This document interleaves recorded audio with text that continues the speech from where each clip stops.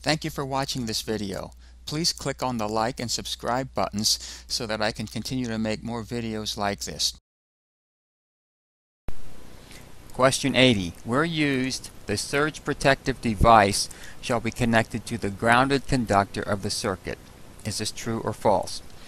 So again, if you have installed these with your experience, you know the answer to this right away. Okay, now if you need to find the answer in the code book, which we do for every question, let's look under surge protective devices. We're at the index and we have surge protective devices, article 285, and we also see these low 500 numbers, hazardous locations. Now if we go down we see connection 285 and Roman numeral 3. Okay, that could be connection to wires, but it could be connection in the panel and other things. Installation 285, Roman numeral 2. We can go down though, look at this. Number required.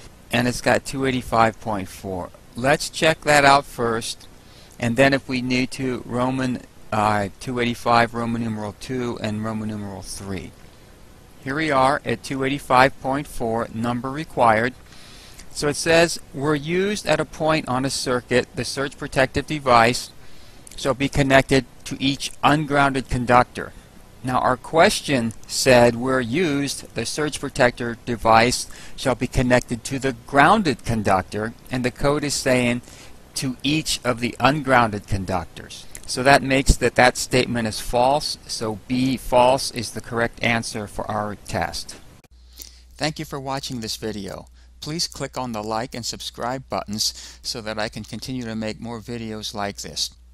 If you find this video helpful, please consider donating using the PayPal link below. Thank you.